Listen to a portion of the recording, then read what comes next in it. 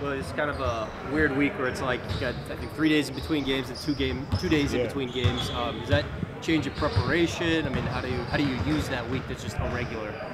It allows us to get in the gym and, and work a bit more, especially going up and down against each other on, on some of our concepts, some areas that we're we know we're doing well in. We can we can touch on them, and then some improvement areas for us. Yeah, when you look at these last two three weeks, I mean, I think you guys won eight of twelve. I mean, winning, but you know, you guys have played against some like Western Conference contenders. Like when you look at those games against Denver, Clippers, the Suns, like is that like kind of measuring stick games for y'all?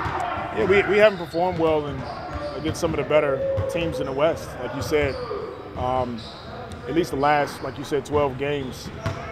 Denver, tough loss on their home floor. Uh, the Clippers before that, and then Phoenix.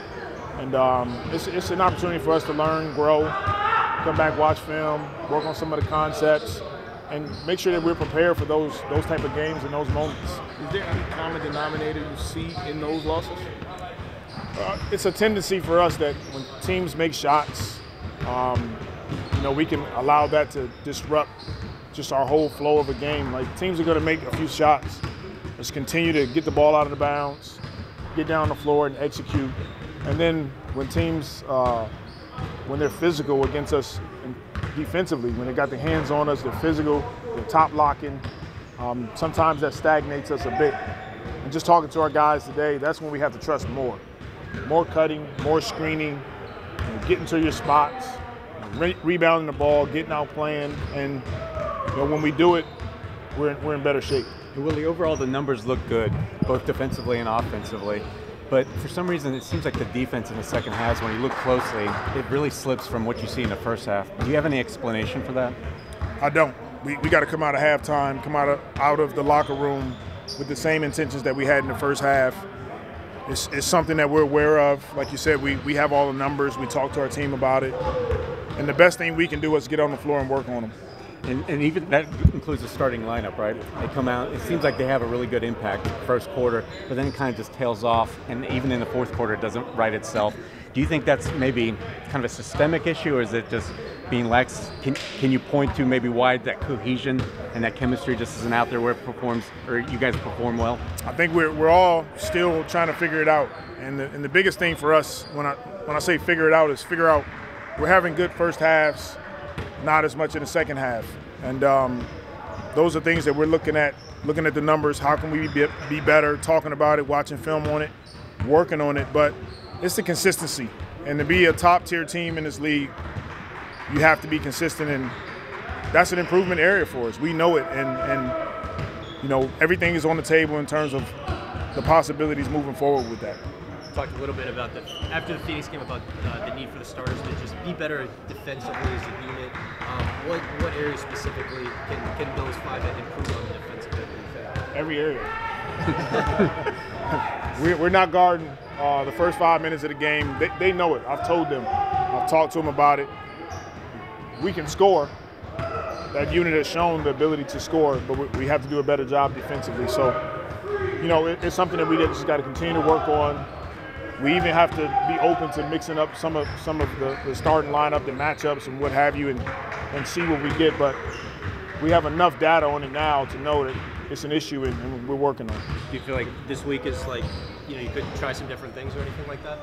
At any given time, for sure, at any given time. But right now, we want to give them a chance to correct it. But we're, we're at the point where everything's on the table. Have these practices given you a chance, Willie, to work with the guys a little bit more than you usually would be able to? It has. Having three days in between, having another game, and then two days, it, get, it really gives us a time, chance and time to watch film, talk about it, have a day of rest, have two practice days where we can work on some of our concepts. And talking about the numbers, obviously being a top 12 offensive team and being able to share the ball as well as you, as you have, um, how much is that, I guess, emphasized, especially when you talk about that Suns game where they got a little bit more physical and maybe it wasn't the same habit of sharing the ball? That's the growth. That's the growth for our team. You know, like you said, we, we know we have the capability of doing it. It's can we be consistent enough, even against the top tier teams, to manage a team making tough shots on us, manage when teams are physical and we still execute on both ends of the floor. And, and the biggest thing is continue to trust each other. And um, our guys have shown the ability to do it. There's a lot of positives going on uh, with this team as far as offensively and defensively, but those are areas we're looking at because we want to be really good against the best teams as well. I'm just curious, how do you manage the pace? That game, uh, whatever day it was, the Suns, they, the pace was crazy in that first quarter. How do you like manage just? Hey, we might need we might need to calm down. I think you were playing in Booker's you know Booker's hands at that point. Do you just kind of like how do you manage that and say, man, let's, let's slow the pace down. We're trying to try to minimize his his possessions. I, I don't think slowing it down would have done anything. He, he he was at the point where he had it going.